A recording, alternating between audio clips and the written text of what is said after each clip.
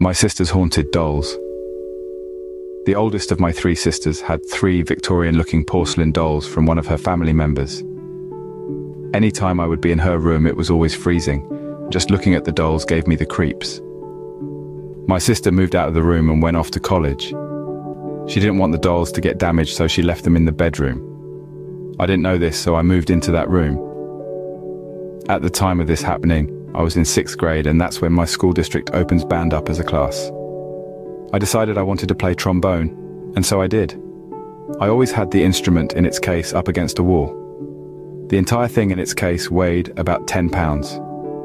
A few nights after I moved into the room, one of the dolls shifted. It was the creepiest one. She had dark hair and a dark red dress. When she leaned to the side, my trombone fell over. Even though it was about three in the morning and I was scared out of my mind, I got out of bed and picked my trombone back up and went back to bed. The next night, the same thing happened, but this time the trombone was pushed five feet into the middle of my room.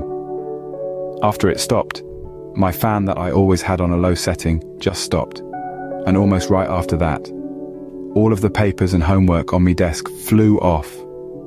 I was scared shitless, but I picked my bedroom up and went back to bed.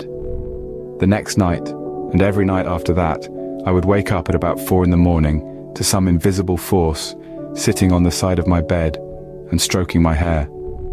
My door was always closed, so that my cats couldn't get in, and there's no way my fan could have caused this. I was constantly trying to debunk it. Then we moved the dolls to the basement. We had an Xbox in the basement, and whenever I would game with my friends, I'd always feel like I was being watched. Then it started playing with my hair. I even had a friend over and she got grabbed. We have since moved and I have no idea where the dolls ended up, but I'm sure as hell glad that they're not where I live anymore.